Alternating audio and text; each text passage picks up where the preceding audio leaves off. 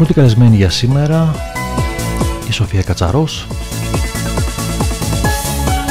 σε μια συμπαραγωγή με τον Άλβιν Άντωνη Μουσική και στίχη Σοφία Κατσαρός και Άλβιν Άντωνη Το τραγούδι έχει τίτλο With You Here Tonight η Σοφία έχει τη μισή καταγωγή της από την Ελλάδα και την άλλη μισή από την Κολομβία. Γεννήθηκε στη Νέα Υόρκη, αλλά από την ηλικία των 10 ετών ήρθε στην Ελλάδα. Ξεκίνησε την πορεία της τραγουδώντας σε νυχτερινά κέντρα, κυρίως στην Αθήνα, με πολλούς γνωστούς καλλιτέχνες, αλλά έχει δουλέψει και στο εξωτερικό. Το τραγούδι αυτό είναι μια συνεργασία με το γνωστό διεθνούς παραγωγό Alvin Anthony. Έχει δικό της κανάλι στο YouTube, ανεβάζει πάρα πάρα πολλά τραγούδια.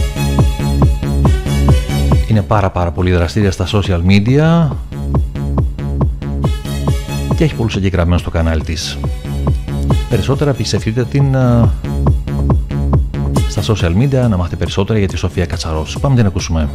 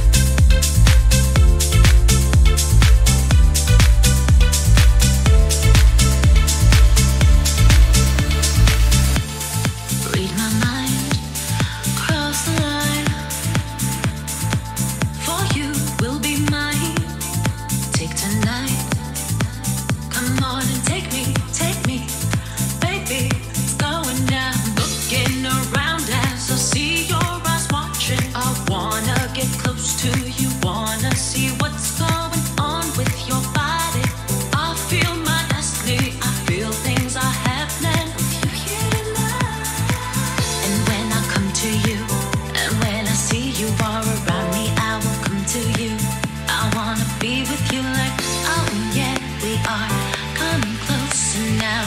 Oh yeah, if you hear